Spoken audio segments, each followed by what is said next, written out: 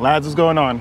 First time I'm uh, smiling from ear to ear today because I'm actually very, very excited. I've been excited about all the other videos earlier today that I shot so far, but this one in particular, I'm excited for as well. Maybe a little more excited. That's because it involves one of my favorite series of all time, The Twilight Zone. We're gonna get right into it. Like, comment, subscribe, and um, let's continue. So the idea of uh, this video is gonna be another episode analysis from my favorite show, The Twilight Zone. this one in particular, okay, we spoke about Queen of the Nile before. You guys obviously have to watch that. But this one you definitely need to watch. The name of the episode is called The Howling Man.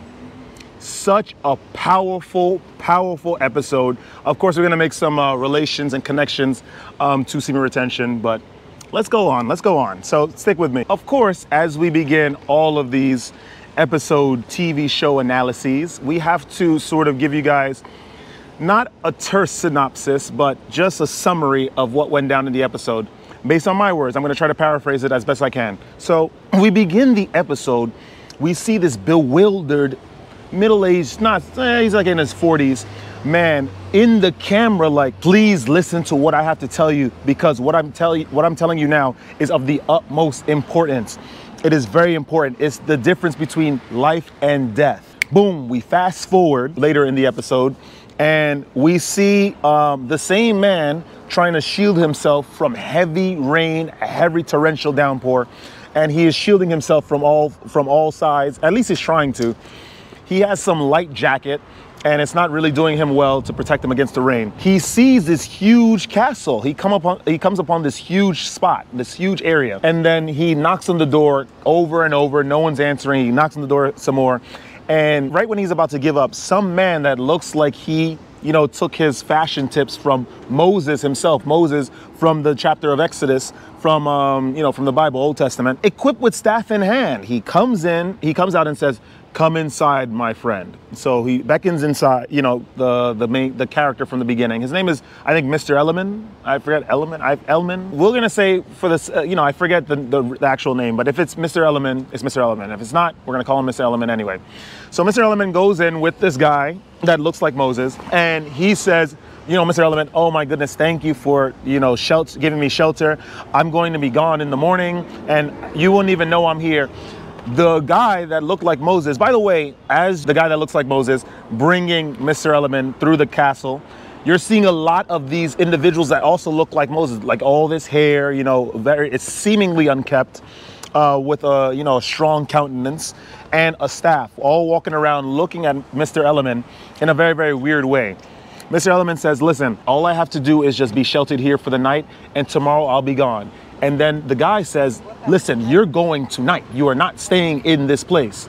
And then at that moment, we hear a howl. Ow! Right? We hear this howl. We're like, what the heck is going on? Right? So obviously, Mr. Element shares the same sentiment as us viewers. We're, he's looking around. The guy that looks like Moses said, listen, you have to leave tonight. he's like, listen, I can't go anywhere. It's it's raining cats and dogs outside. I have no protective gear. I have to stay here. I promise you, I won't be any trouble. I'll even give you something, you know, just to be able to stay here tonight. You know what? Maybe you could stay. Let me see if I can prepare something for you. So as he leaves the room, I think Mr. Element leaves, walks around a little bit, and then goes and sees this man locked up inside this prison. The guy is like, please, can you help a kind sir? I've been I've been put here against my will. These guys are madmen. They're fanatics, I tell you. Let me free. So Mr. Element is like, what the heck is going on? Like, what, what, Why are you even here? What crime did you commit? I committed nothing. They just saw that I needed to be put away, and then they put me inside this this prison. Then, of course, on on his shoulder, Mr. Element's shoulder, is the guy that looks like Moses. He's like, listen, um, this person needs to stay locked up. Listen to my words. Do not pay attention to anything that this guy has to tell you. Come this way. They discuss uh, a lot of things and whatnot. They're going back and forth. And then Mr. Element, of course, he's having a little strike of moral conscience. He questions the, the imprisonment of that guy that we saw in the earlier scene. He says, that guy, the, the guy that looks like Moses, that guy is the devil himself. What does that even mean? You know, obviously, the devil can't really exist, right? By the way, the guy is like, you know, pleading to be free. If it was the devil with all this power, why would he need help to be free? Why would he need help to escape imprisonment? He said this, the guy that looked like Moses. You see the staffs that we hold? It's imbued with the power of God Himself. What we have over the, the prison door guarding the guy or imprisoning him is that same staff of God. And it was a smaller version. It was like a little uh, little petite version of the staff. You must not open it by any means. Anything that you're told, do not listen to, to it. You know, in regards to opening that door. We continue. He has his own sleeping quarters and then he goes to sleep, but he can't just he can't shake off that feeling. And of course, you're consistently hearing the oh the house consistently over and over and over again. So we're gonna fast forward a little bit. What does this guy end up doing? He ends up leaving his room, his sleeping quarters that he was appointed. He goes to the prison, right? And then he's pleading with him, the, the guy again, listen, I promise you, I don't know why they have me locked up.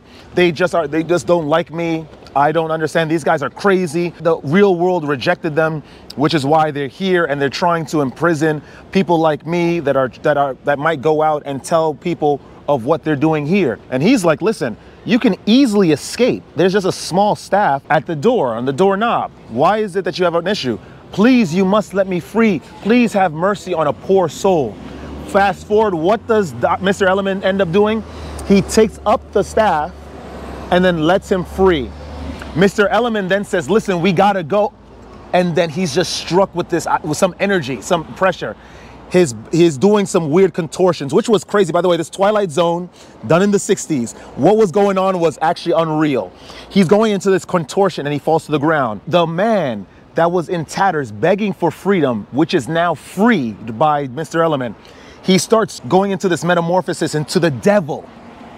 And then once, as soon as you see that end, the end of his transformation, he disappears. The guy that looked like Moses uses, you know, what a little energy he has to lift up Mr. Element and says, good job. Now you must live the rest of your life knowing that you released the devil upon the world. Fast forward, boom, we have, uh, we're back into the, be- like with the beginning of the Twilight Zone episode saying, I have the devil locked up here.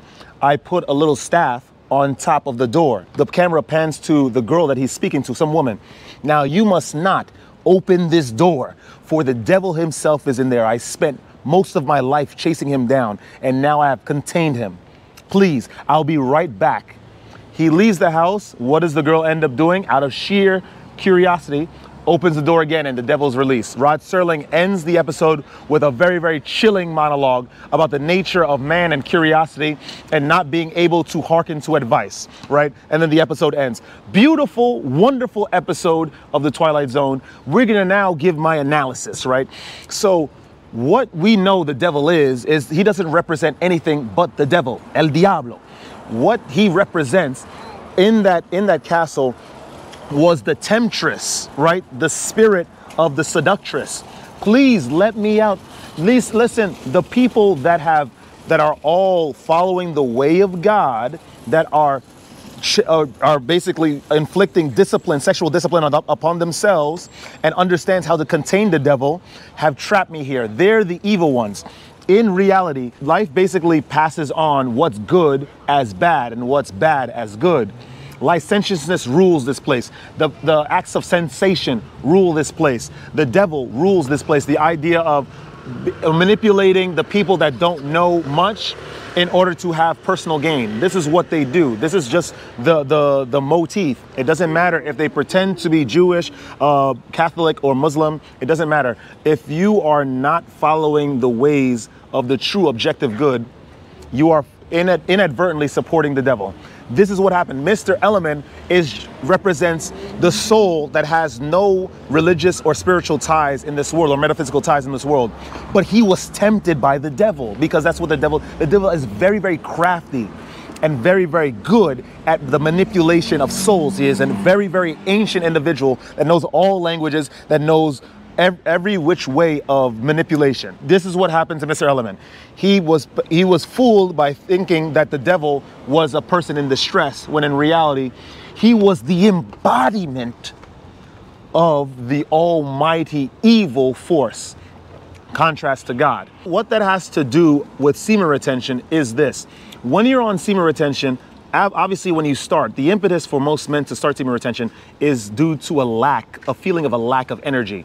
We have been having sex a lot. We've been uh, masturbating a lot. We want to go on this and get our power back. We go. We spend some time being celibate, being on the practice of semen retention, and then that devil, right, that is locked away with that staff, the metaphorical devil that's locked away in that metaphorical prison with that metaphorical staff in our lives, in our souls, is begging to be released. Please, what you're doing is nonsense. Semen retention is stupid. It's only for the degenerate of this world. You're not going to be accepted by the children of man. You are not going to be successful in this physical realm. You're not going to have that at home. You're not going to have that car. You're not going to have those, remember the, the nice Rolex watch. If you keep me locked up, you must let me out. I am a good person as we are staying longer on the practice of semen retention, we the words of the devil, the sweet, sultry, honey-filled words of the devil are tempting, are very, very tempting. We are even feeling inclined to let that devil out. Of course, the representation of the devil being released is the physical release of your seed through masturbation and through release with a woman. That is the representation of the devil in the room. Mr. Elliman being older and having experience due to being scarred by the devil because he did not heed the lesson the first time. He tried to impart the lesson to the woman, right? The woman that he was with, as he went outside to go run some errands to come back in order to seal the devil away for good. But of course, like the same with David to Solomon, the first person that committed sin that did not hearken to the words that the wise men told them will pass on the same sin through generational uh, lines, through interaction with people. This is just what happens. This is the reality of things. Mr. Element again is going to feel guilty once he returns at the end of that, you know, after that episode, seeing that this would have never happened if he just listened to the old wise men. What you need to get from this video and what you need to get from the horrible, rebellious choices of the Mr. Element, the main character, is this. You must hearken to advice. You do not need to experience the Maya of this real, of this physical reality. You don't need to experience uh, the pleasures of sex. You do not need to experience the pleasures of drugs. You do not need to experience the pleasures of drinking and smoking in order to have a good time and to understand the individuals of this world. They have done it. Let them do it. We judge them not. What you do is you listen to the words before you. It is no way that we have a Bible, right? We have the, the Tripitaka and we have the Bhagavad Gita, all saying the same thing in regards to sex, and they're all from different parts of the world, and they're wrong. That doesn't make any sense. What needs to be done, gentlemen, I know that a lot of you guys have not experienced you know, the, uh, the touch of a woman, right? Or if you did, I know you haven't experienced drugs, you haven't experienced alcohol. You do not need these things to ascend. You need none of that. What you need to do is to eschew what the people are telling you about living your life, right? Fitting into this physical reality and just walk the path of semen retention, being celibate. Do not ever open the door if the devil calls. The devil comes in many, many forms. In that, in the Twilight Zone episode, he was a raggedy old man. In this modern world, as it has been in the days of uh, Winston Churchill, these new devils come in the form of the seductress, the Jezebel vibration. They are just there to remove you from your energy and cause discord between individuals that both have the same faiths and have the same ideas of what ascension looks like. This is it. Remember your journey. Remember what the devil looks like. And keep it in your head for when the devil changes form, you are aware of what the, the wiles and the tricks that the devil will use. Beautiful Twilight Zone episode, beautiful message that Rod Serling imparted to us, and it will do us well 60 years post that point because the episode was done in like the 60s. It's 2024 now. It will do us well to heed his warning and understand lessons seriously. Some people do not escape that pit of fornication, especially fornication with the uh, sex workers, especially fornication with the wrong promiscuous individual, the ones that are poisoned by the Jezebel vibration. They are real and they exist. It's not anything that has to do with magic. This is real. Steel yourselves, gentlemen. Don't ever let this world get you down. This is full of individuals that masquerade as forms of the devil. The devil is a multi-headed serpent. It's funny, I'm making a reference to Revelation, but this is just the facts. It's a multi-headed serpent that comes from all angles, that will, that will say many, many beautiful things to you, but you must resist it. Follow the way and stay radiant. I'll see you guys in the next video.